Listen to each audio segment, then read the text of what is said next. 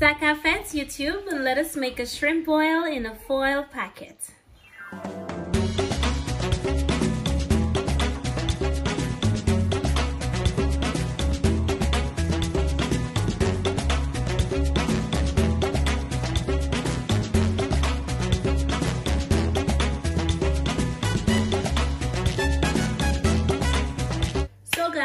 Is a quick ingredient breakdown. You're gonna need your sweet corn and I just cut it into small pieces for this recipe. You're also gonna need your prawns and these have been deveined so it's nice and cleaned. Here I have some cold butter that I will be using in this recipe. And for some of you wondering, this is the butter that I'm using. Here I have my red potatoes and I just cut it into halves because they were quite small.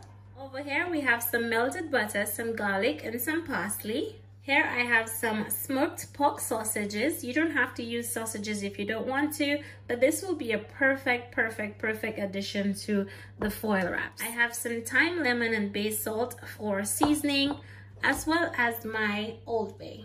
You're also gonna need your aluminum foil to wrap this up. Set this to one side. I have my butter over here. Just gonna go ahead and just add in my freshly grated garlic as well as my parsley in here, okay? You want to give that a good little mix.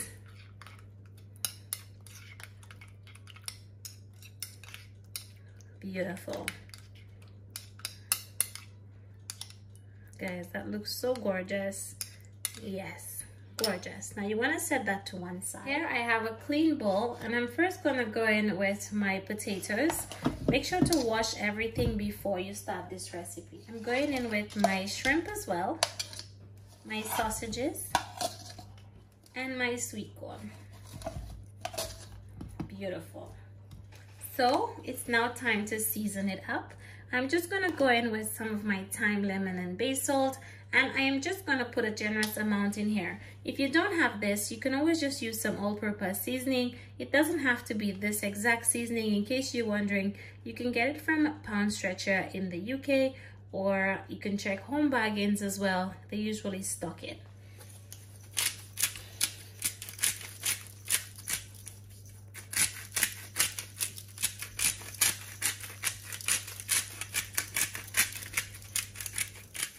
Gorgeous. And for some of you who are wondering if you don't have this seasoning you can always just use a mixture of like thyme maybe a little lemon pepper seasoning and things like that and it will be perfect okay? I'm also just gonna add a little bit of old bay in there as well. Okay just put a generous amount of old bay. And now you just want to shake it up shake it up. Oops.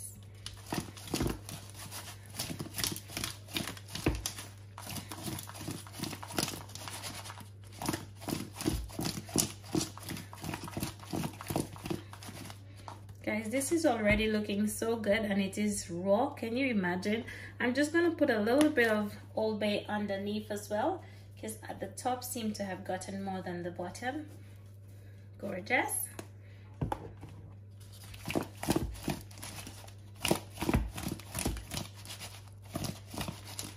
that's looking beautiful okay?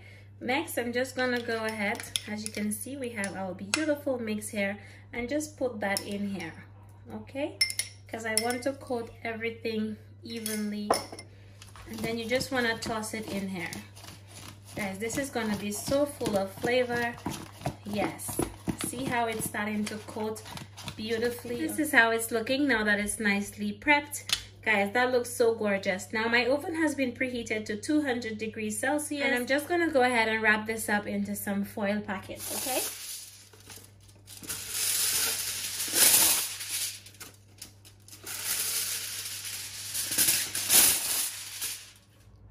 So you wanna just put a generous amount of everything onto the foil, okay?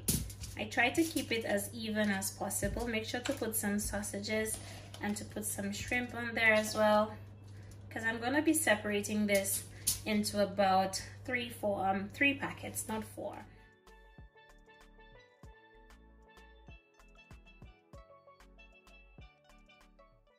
See how amazing that's looking?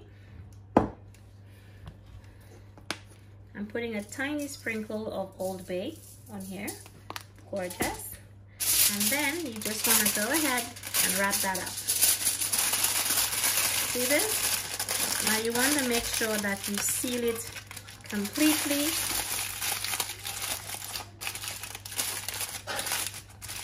because you want to ensure that the steam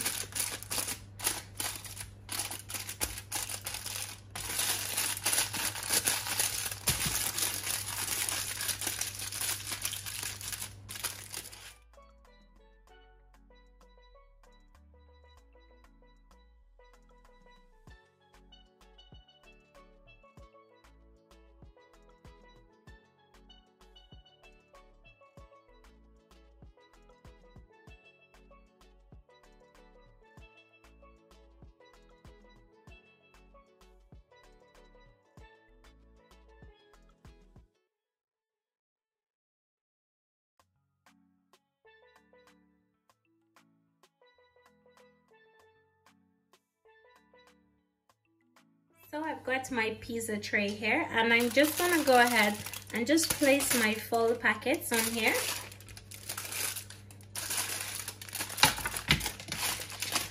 See this guys? So as you can see, this is looking pretty amazing, all right? So I'm just gonna push it into the oven about 40 minutes, okay? And when it's all done, I will come back and show you how it's looking.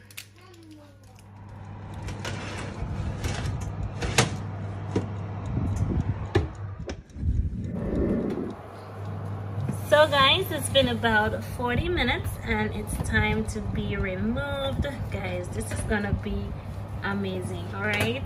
So let's take it out.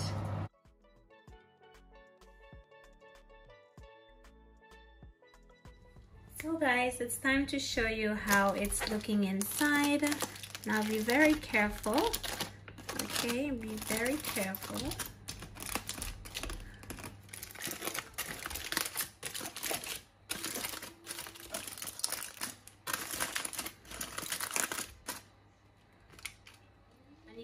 Just go ahead and just add in a little bit more of that gorgeous melted butter because you can never have too much butter in here.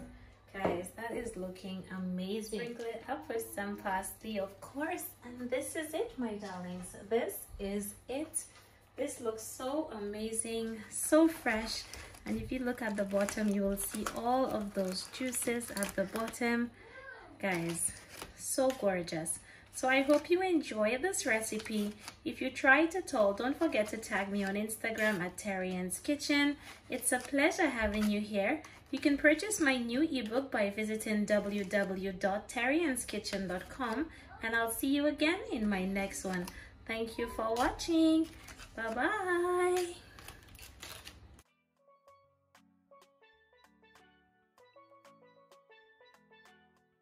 So this is all of them guys. That looks so good. So easy. Just prep it push it into the oven and call it a day. Oh my goodness. My family will love this. So amazing. So delicious. So buttery. So juicy. Oh my goodness. So everything